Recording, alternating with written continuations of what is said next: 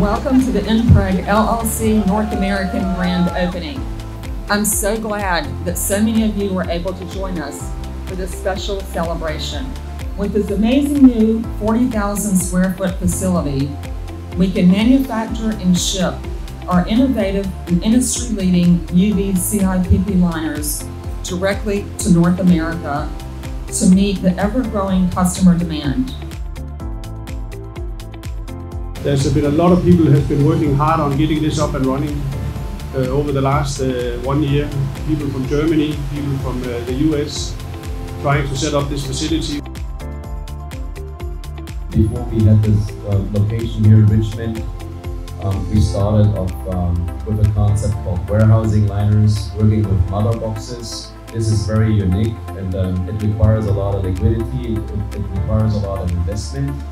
Um, but that helped us to face in this market even when we were not there yet physically with the production. So um, this concept proved to be the right concept so far, I would say. So we're practicing this now in other regions of the world.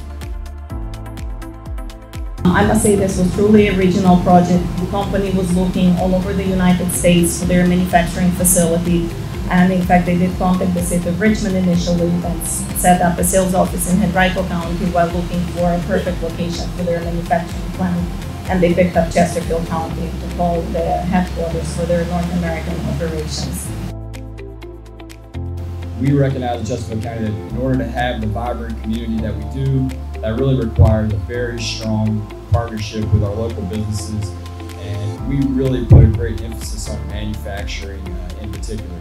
Uh, Chesterfield is actually home to the largest manufacturing presence of any county in the state of Virginia, and many of uh, those partners are right here in the air park. Uh, there's a lot of that kind of activity that happens here, and this is certainly a wonderful addition uh, to that very proud roster. So we thank you very much for choosing Chesterfield County.